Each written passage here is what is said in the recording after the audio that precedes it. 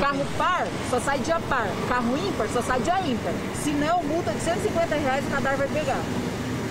O novo formato do rodízio emergencial é bem diferente do que existe hoje e bem mais restritivo também. Carros com placa final par só poderão circular nos dias pares e os veículos com final ímpar nos dias ímpares. É um absurdo para nós. A medida foi anunciada hoje no final da manhã pelo prefeito de São Paulo, Bruno Covas. Questões extremas exigem medidas extremas. Para que a gente evite é, ter que decretar lockdown na cidade de São Paulo. Isso não, não faz com que as pessoas fiquem em casa. O novo rodízio vale para toda a cidade e não apenas para o centro expandido, como acontece hoje. Datena, a medida começa a valer já a partir da próxima segunda-feira. Ela vai durar 24 horas, de segunda a segunda.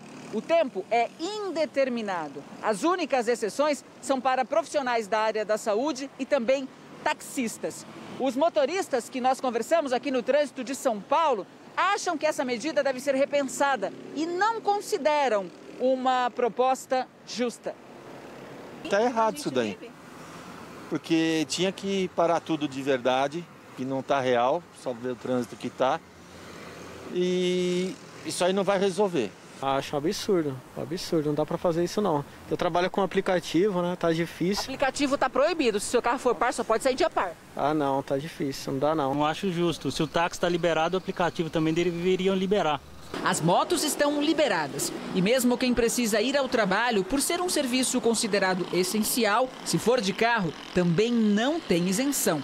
Isso vale para funcionários de padarias, supermercados, pet shops, lotéricas, farmácias e outros serviços comerciais. Tem que pensar numa solução mais inteligente, mas tem que proteger as pessoas.